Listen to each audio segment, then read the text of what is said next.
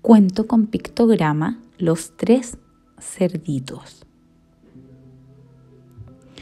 Eran tres cerditos que decidieron irse al bosque y hacerse una casa cada uno. El cerdito mayor hizo su casa de paja y el cerdito mediano hizo su casa de madera. Y el cerdito menor, que era el más trabajador, hizo su casa de ladrillo. El mayor terminó muy pronto y se puso a descansar. Pero, toc, toc, se escucha en la puerta. ¿Quién es? Soy el lobo, y si no me abres, soplaré y soplaré, y tu casa derribaré. Entonces el lobo sopló y sopló hasta que la casa derribó. Pero el cerdito consiguió escapar a casa de su hermano mediano.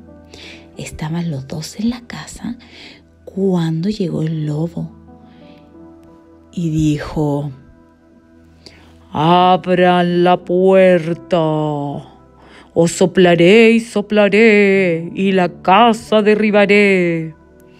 Y el lobo sopló y sopló, y la casa derribó.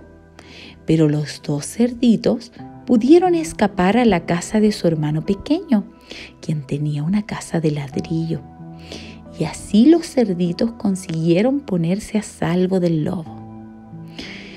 Cuento verdadero, cuento inventado.